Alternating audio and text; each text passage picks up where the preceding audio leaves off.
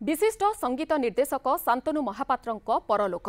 ଭୁବନେଶ୍ୱର ଏକ ଘରୋଇ ହସ୍ପିଟାଲରେ ଶାନ୍ତନୁ ମହାପାତ୍ରଙ୍କ ଦେହାନ୍ତ ହୋଇଛି। ପଞ୍ଚାଅଶୀ ବର୍ଷ ବୟସରେ ଆଖି ବୁଜିଛନ୍ତି ଶାନ୍ତନୁ ମହାପାତ୍ର। ସେ ନିମୋନିଆରେ ପୀଡ଼ିତ ହୋଇ ଚିକିତ୍ସାଧୀନ ଥିଲେ। ଅନେକ ଓଡ଼ିଆ ଚଳଚ୍ଚିତ୍ରରେ ସଙ୍ଗୀତ ନିର୍ଦ୍ଦେଶନା ଦେଇଥିଲେ ଶାନ୍ତନୁ। ଶାନ୍ତନୁଙ୍କ ପରଲୋକ ନେଇ ତାଙ୍କ ପୁଅ କୌଶିକ ମହାପାତ୍ର ସୂଚନା ଦେଇଥିଲେ।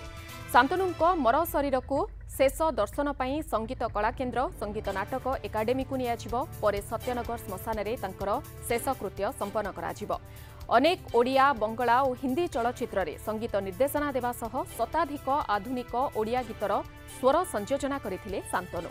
ସେ ସଙ୍ଗୀତ ନିର୍ଦ୍ଦେଶନା ଦେଇଥିବା ଚଳଚ୍ଚିତ୍ରମାନଙ୍କ ମଧ୍ୟରୁ କେତେକ ଆଞ୍ଚଳିକ ଏବଂ ଜାତୀୟ ସ୍ତରରେ ପୁରସ୍କୃତ ମଧ୍ୟ ହୋଇଛି। ସୂର୍ଯ୍ୟମୁଖୀ ଅରୁନ୍ଧତୀ ଚିଲିକା ତୀରେ ଡୋରା ଅଗ୍ନି ପରୀକ୍ଷା ଆଦି ଅନେକ ଫିଲ୍ମର ସଙ୍ଗୀତ ନିର୍ଦ୍ଦେଶକ ସେ ରହିଥିଲେ। ସିଧାସଳଖ ଏ ସମ୍ପର୍କରେ ଅଧିକ ତଥ୍ୟ ଦେବା ପାଇଁ ଆମ ସହିତ ଯୋଡ଼ି ହୋଇଛନ୍ତି ଆମ ପ୍ରତିନିଧି ଦ୍ୟୁତି କୃଷ୍ଣ ପହେ ଦ୍ୟୁତି ଆପଣ ବର୍ତ୍ତମାନ କେଉଁ ସ୍ଥାନରେ ରହିଛନ୍ତି ଏବଂ ପରବର୍ତ୍ତୀ କ'ଣ ସବୁ କାର୍ଯ୍ୟକ୍ରମ ରହିଛି?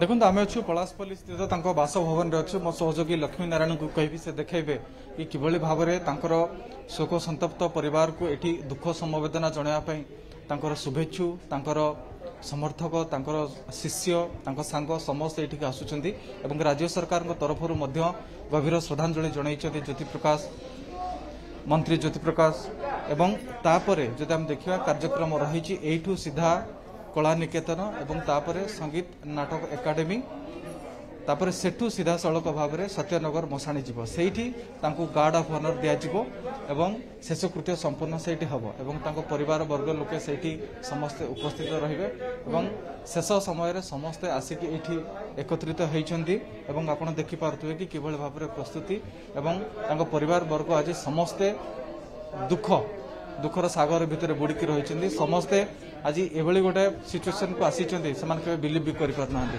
ସାର୍ କହିବେ ସେ ଜଣେ ବହୁତ ବଡ଼ ସଙ୍ଗୀତ ନିର୍ଦ୍ଦେଶକ ସଙ୍ଗୀତ ଓଡ଼ିଶା ସଙ୍ଗୀତ ଜଗତରେ ଭୀଷ୍ମ ଥିଲେ ସେ ଏବଂ ଫର୍ଚୁନେଟଲି ତାଙ୍କୁ ସମସ୍ତେ ବାବାନା ବୋଲି ଡାକନ୍ତି। ତାଙ୍କ ନିର୍ଦ୍ଦେଶନାରେ ପ୍ରଥମ କରିକି ଆ, ଯେଉଁମାନେ ଲତା ମସ୍କର ହୁଅନ୍ତୁ ମହମ୍ମଦ ରଫି ହୁଅନ୍ତୁ ସେମାନେ ଆସି ଓଡ଼ିଆ ଫିଲ୍ମରେ ଗୀତ ଗାଇଛନ୍ତି ଏବଂ ଆ, ସେଇଭଳି ଯୋଗଜନ୍ମ ପୁରୁଷ ଉଁ, କେହି ଆଉ ସଙ୍ଗୀତ ଜଗତରେ ଜନ୍ମ ହେବେ ନାହିଁ ତ କେହି ସେଭଳି ଆଉ ଯୋଗ ଜନ୍ମା ଜନ୍ମ ହେବେ ନାହିଁ ଏବଂ ପୁଅ ଅଛନ୍ତି ଆମେ କଥା ହେବା। ଆଜ୍ଞା କ'ଣ ସବୁ ଶେଷକୃତ୍ୟ ସମ୍ପନ୍ନ କୋଉଠି ହେବ ଏବଂ ରାଜ୍ୟ ସରକାରଙ୍କ ତରଫରୁ କାଣ ଶେଷ କାମ ବାପାଙ୍କର ହବ ସତ୍ୟନଗରରେ। ଆମେ ଭାବିଛୁ ସତ୍ୟନଗର କରିବୁ ଏଇଥିପାଇଁ କାହିଁକିନା ବେଶୀ ଲୋକ ଆସିପାରିବେ ଏବଂ ସମ୍ମାନ ଦେଉଛି ଷ୍ଟେଟ୍ ଗାର୍ଡ ଅଫ୍ ଅନର ଦେଉଛନ୍ତି ଷ୍ଟେଟ୍ ଗଭର୍ଣ୍ଣମେଣ୍ଟ ଦେଉଛନ୍ତି।